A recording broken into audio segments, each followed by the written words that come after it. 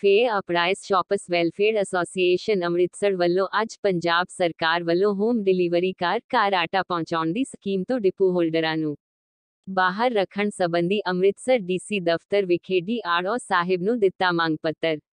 ਘਰ ਘਰ ਰਾਸ਼ਨ ਪਹੁੰਚਾਉਣ ਵਾਲੇ ਫੈਸਲੇ ਤੇ ਨਵੇਂ ਲਾਇਸੈਂਸ ਜਾਰੀ ਕਰਕੇ ਕਿਸੇ ਕੰਪਨੀ ਠੇਕੇਦਾਰ ਜਾਂ ਅਦਾਰੇ ਕੋਲੋਂ ਕੰਮ ਕਰਵਾਉਣ ਦੀ ਤਜਵੀਜ਼ ਰੱਦ ਕੀਤੀ ਜਾਵੇ, ਪਹਿਲਾਂ ਹੀ ਆਰਥਿਕ ਤੰਗੀ ਵਿੱਚੋਂ ਗੁਜ਼ਰ ਰਹੇ ਪੰਜਾਬ ਦੇ ਡਿਪੂ ਹੋਲਡਰਾਂ ਸਰਕਾਰ ਵੱਲੋਂ ਘਰ ਘਰ ਰਾਸ਼ਨ ਪਹੁੰਚਾਉਣ ਦੀ ਸਕੀਮ ਵਿੱਚੋਂ ਬਾਹਰ ਕਰਨ ਦੇ ਫੈਸਲਾ ਪੰਜਾਬ ਦੇ ਡਿਪੂ ਹੋਲਡਰਾਂ ਨੂੰ ਆਰਥਿਕ ਤੌਰ ਤੇ ਨੁਕਸਾਨਦਾਇਕ ਅਤੇ ਬੇਰੁਜ਼ਗਾਰ ਕਰਨ ਵਾਲਾ ਫੈਸਲਾ ਸਿੱਧ ਹੋਵੇਗਾ। ਜਦੋਂ ਕਿ ਪੰਜਾਬ ਦੇ ਡਿਪੂ ਹੋਲਡਰ ਪਹਿਲਾਂ ਹੀ ਦੇਸ਼ ਦੇ ਦੂਜੇ ਸੂਬਿਆਂ ਨਾਲੋਂ ਘੱਟ ਕਮਿਸ਼ਨ ਤੇ ਕੰਮ ਕਰ ਰਹੇ ਹਨ, ਪੰਜਾਬ ਦੇ ਡਿਪੂ ਹੋਲਡਰਾਂ ਨੂੰ 50 ਰੁਪਏ ਪ੍ਰਤੀ ਕੁਇੰਟਲ ਕਮਿਸ਼ਨ ਮਿਲਦਾ ਹੈ।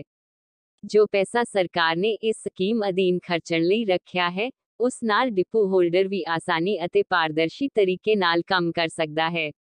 ਇਸ ਮੌਕੇ ਐਸੋਸੀਏਸ਼ਨ ਦੇ ਪ੍ਰਧਾਨ Sanjeev Kumar Ladi, general secretary Inderjit Sharma, cashier Surinder Mahajan Manoj Kumar Pawan Sharma Satish Kumar ਹੋਰ ਵੀ ਡਿਪੂ ਹੋਲਡਰ ਮੌਜੂਦ ਸਨ chief editor Sahil Beri IBN live news Amritsar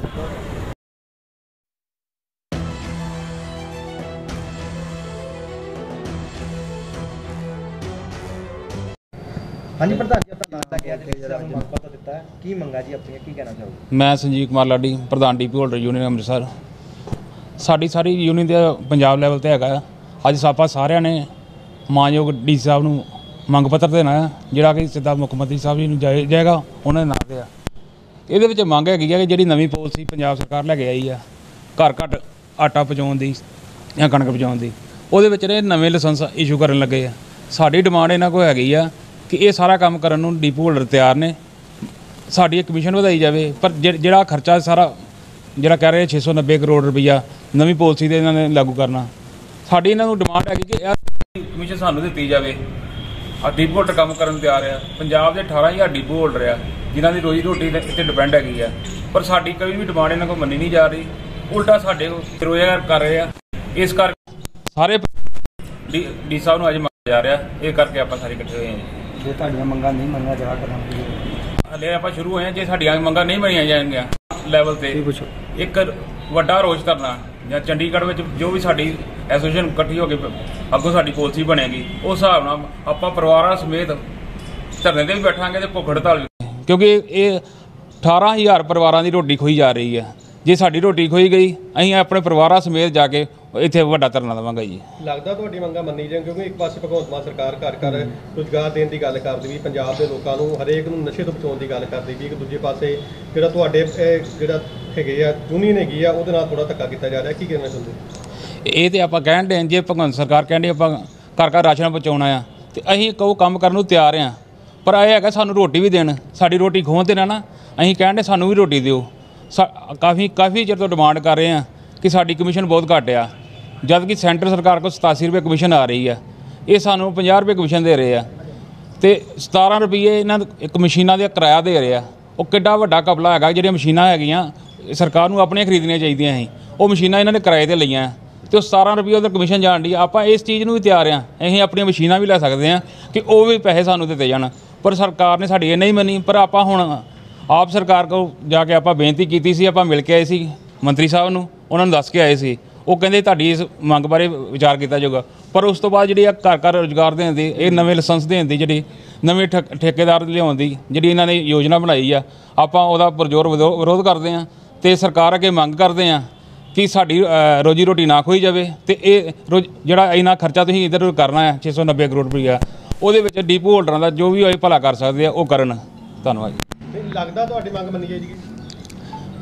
ਲੱਗਦਾ ਆਪ- ਆਪਾਂ ਨੇ ਡਿਮਾਂਡ ਕਰਨੀ ਯੂਨੀਅਨ ਤੌਰ ਤੇ ਆਪਾਂ ਡਿਮਾਂਡ ਕਰਨੀ ਆ। ਜੇ ਸਾਡੀ ਨਹੀਂ ਮੰਨੀ ਜਾਏਗੀ ਫਿਰ ਆਪਾਂ ਤੁਹਾਨੂੰ ਦੱਸਿਆ ਕਿ ਵ- ਵੱਡਾ ਧਰਨਾ ਵੀ ਦੇਵਾਂਗੇ ਪੰਜਾਬ ਲੈਵਲ ਤੇ ਤੇ ਭੁੱਖ ਹੜਤਾਲ ਵੀ ਕਰਾਂਗੇ ਆਪਣੇ ਫੈਮਿਲੀ ਫੈਮਿਲੀ ਸਮੇਤ ਉੱਥੇ ਜਾ ਕੇ ਬੈਠਾਂਗੇ। ਜੇ ਇੱਕ ਡਿਪੂ ਹੋਲਡਰ ਦੇ ਘਰ ਤਿੰਨ ਚਾਰ ਪੰਜ ਮੈਂਬਰ ਹੈਗੇ ਆ ਇਹ ਉੱਥੇ ਲੱਖ ਸਵਾ ਲੱਖ ਰੁਪਏ ਬੰਦਾ ਧਰਨਾ ਦੇਵੇਗਾ ਜੀ। ਹਾਂਜੀ ਸਰ ਕੀ ਨਾਮ ਜੀ ਆਪਣਾ ਔਰ ਕੀ ਮੰਗ ਮੁੱਖ ਮੰਗ ਲੈ ਕੇ ਆ ਜੀ ਆਪਾਂ ਡੀਸੀ ਸਾਹਿਬ ਨੂੰ ਮਿਲਣਾ ਹੈ ਮੇਰਾ ਨਾਮ ਜੀ ਕੁਲਦੀਪ ਸ਼ਰਮਾ। ਮੈਂ ਛਾਟੇ ਡਿਪੂ ਹੋਲਡਰ ਐਸੋਸੀਏਸ਼ਨ ਦਾ ਪ੍ਰੈਜ਼ੀਡੈਂਟ ਹਾਂ। ਸਾਡੀ ਮੁੱਖ ਮੰਗ ਇਹੀ ਆ ਵੀ ਜਿਹੜਾ ਸਾਡਾ ਡਿਪੂ ਵਾਲਿਆਂ ਦਾ ਕੰਮਕਾਜ ਚੱਲ ਰਿਹਾ ਵਾ, ਵੀ ਇਹ ਉਸੇ ਤਰ੍ਹਾਂ ਜਿਸ ਤਰ੍ਹਾਂ ਪਹਿਲਾਂ ਚੱਲ ਰਿਹਾ, ਪਿਛਲੀਆਂ ਸਰਕਾਰਾਂ ਇੰਨੀਆਂ ਆਈਆਂ ਗਈਆਂ, ਉਹਨਾਂ ਨੇ ਸਾਡੇ ਡਿਪੋ ਨਾਲ ਕੋਈ ਛੇੜਛਾੜ ਨਹੀਂ ਕੀਤੀ। ਇਹ ਜਿਹੜੀ ਹੁਣ ਨਵੀਂ ਸਰਕਾਰ ਆਈ ਆ, ਮਾਨ ਸਾਹਿਬ ਦੀ ਇਹ ਕਹਿੰਦੇ ਡਿਪੋ ਵਾਲਿਆਂ ਦਾ ਜੀ ਰੁਜ਼ਗਾਰ ਖੋਲਣਾ ਵਾ ਤੇ ਇਹਨਾਂ ਨੂੰ ਆਪਾਂ ਆਟਾ ਦੇਣਾ ਵਾ। ਜਿਹੜੀ ਆਟੇ ਦੀ ਸਕੀਮ ਆ ਇਹਦੇ ਵਿੱਚ ਸਾਡਾ ਜਿਹੜਾ ਰੁਜ਼ਗਾਰ ਖੁੱਸਦਾ ਵਾ ਤੇ ਸਾਡੇ ਬੱਚਿਆਂ ਬਾਰੇ ਇਹਨਾਂ ਨੇ ਕੁਝ ਨਹੀਂ ਸੋਚਿਆ। ਇਸ ਕਰਕੇ ਅਸੀਂ ਮੰਗ ਕਰਦੇ ਹਾਂ ਸਰਕਾਰ ਕੋਲ ਵੀ ਸਾਡਾ ਜਿਹੜਾ ਰੁਜ਼ਗਾਰ ਆ ਇਸੇ ਤਰ੍ਹਾਂ ਚੱਲਦਾ ਰਹੇ ਤੇ ਅਸੀਂ ਆਪਣੇ ਬੱਚਿਆਂ ਦਾ ਜਿਹੜਾ ਪਾਲਣ ਪੋਸ਼ਣ ਠੀਕ ਤਰੀਕੇ ਨਾਲ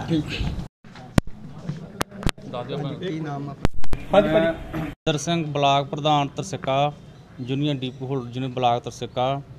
ਸੋ ਅਸੀਂ ਅੱਜ ਪ੍ਰਧਾਨ ਜੀ ਲਾਡੀ ਹੁਣਾਂ ਦੇ ਸੱਦੇ ਤੇ ਸਮੂਹ ਡੀਪੂ ਹੋਲਡਰ ਅੰਮ੍ਰਿਤਸਰ ਜ਼ਿਲ੍ਹੇ ਦੇ ਪਹੁੰਚੇ ਆ ਸੋ ਅਸੀਂ ਤੁਹਾਨੂੰ ਪ੍ਰਧਾਨ ਹੁਣਾਂ ਦੱਸ ਹੀ ਦਿੱਤਾ ਵਾ ਕਿ ਜੋ ਸਾਡੀਆਂ ਮੰਗਾਂ ਵਾ ਔਰ ਅਸੀਂ ਸਰਕਾਰ ਕੋਲੋਂ ਪੁਰਜ਼ੋਰ ਮੰਗ ਕਰਦੇ ਆ ਕਿ ਜੋ ਸਾਡਾ ਇਹ ਰੁਜ਼ਗਾਰ ਆ ਡੀਪੂ ਹੋਲਡਰਾਂ ਦਾ, ਇਹ ਸਾਡੇ ਕੋਲੋਂ ਨਾ ਖੋਇਆ ਜਾਵੇ ਕਿਉਂਕਿ ਡੀਪੂ ਹੋਲਡਰ ਇਹਦੇ ਸਿਰ ਤੇ ਆ ਔਰ ਉਹਨਾਂ ਦੇ ਜੋ ਬੱਚੇ ਆ, ਉਹ ਇਹਨਾਂ ਦੇ ਸਿਰ ਤੇ ਪਲ ਰਹੇ ਆ ਔਰ ਪੜ੍ਹਾਈਆਂ ਕਰ ਰਹੇ ਆ ਔਰ ਜੇ ਇਹ ਰੁਜ਼ਗਾਰ ਡੀਪੂ ਹੋਲਡਰਾਂ ਤੋਂ ਖੁੱਸ ਜਾਂਦਾ ਵਾ ਤੇ ਡੀਪੂ ਹੋਲਡਰ ਜਿਹੜੇ ਉਹ ਸੜਕਾਂ ਤੇ ਆ ਜਾਣਗੇ ਔਰ ਸਰਕਾਰ ਦਾ ਇਹਦੇ ਵਿੱਚ ਬਹੁਤ ਜ਼ਿਆਦਾ ਜਲੂਸ ਨਿਕਲੂਗਾ।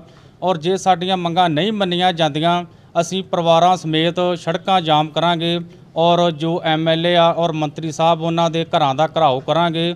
ਔਰ ਅਸੀਂ ਸਰਕਾਰ ਕੋਲੋਂ ਮੰਗ ਕਰਦੇ ਹਾਂ ਕਿ ਜੋ ਸਾਡੇ ਲਾਇਸੈਂਸ ਚੱਲ ਰਹੇ ਆ, ਉਹਨਾਂ ਨੂੰ ਜਾਰੀ ਰੱਖਿਆ ਜਾਵੇ, ਸਾਡਾ ਕਮਿਸ਼ਨ ਵਧਾਇਆ ਜਾਵੇ। ਔਰ ਸਾਡਾ ਅਸੀਂ ਆਪਣੇ ਘਰ ਦਾ ਜਿਹੜਾ ਰੁਜ਼ਗਾਰਾ ਵਾ, ਉਹ ਬਹੁਤ ਤਰੀਕੇ ਨਾਲ ਚਲਾ ਸਕੀਏ। ਕਿਉਂਕਿ ਮਾਨ ਸਾਹਿਬ ਨੇ ਕਿਹਾ ਵਾ, ਮੁੱਖ ਮੰਤਰੀ ਸਾਹਿਬ ਨੇ ਕਿ ਮੈਂ ਰੁਜ਼ਗਾਰ ਦੇਣਾ ਵਾ, ਪਰ ਇਹਦਾ ਮਤਲਬ ਇਹ ਨਹੀਂ ਕਿ ਦੂਜੇ ਬੰਦੇ ਬੇਰੁਜ਼ਗਾਰ ਕੀਤੇ ਜਾਣ। ਸੋ ਸਾਡੀ ਮੁੱਖ ਮੰਤਰੀ ਸਾਹਿਬ ਜੀ ਕੋ ਬੇਨਤੀ ਆ ਕਿ ਸਾਡੀਆਂ ਮੰਗਾਂ ਨੂੰ ਪ੍ਰਵਾਨ ਕਰਦਿਆਂ ਹੋਇਆਂ ਸਾਡਾ ਜਿਹੜਾ ਰੁਜ਼ਗਾਰ ਆ, ਉਹਨੂੰ ਹੋਰ ਵਧਾਇਆ ਜਾਵੇ, ਨਾ ਕਿ ਘਟਾਇਆ ਜਾਵੇ ਔਰ ਅਸੀਂ ਆਪਣੇ ਬੱਚਿਆਂ ਦਾ ਜਿਹੜਾ ਪਾਲਣ ਪੋਸ਼ਣ ਆ, ਉਹ ਸਹੀ ਤਰੀਕੇ ਨਾਲ ਕਰ ਸਕੀਏ ਔਰ ਉਹਨਾਂ ਨੂੰ ਪੜ੍ਹਾ ਲਿਖਾ ਸਕੀਏ। ਵਾਹਿਗੁਰੂ ਜੀ ਕਾ ਖਾਲਸਾ, ਵਾਹਿਗੁਰੂ ਜੀ ਕੀ ਫਤਿਹ।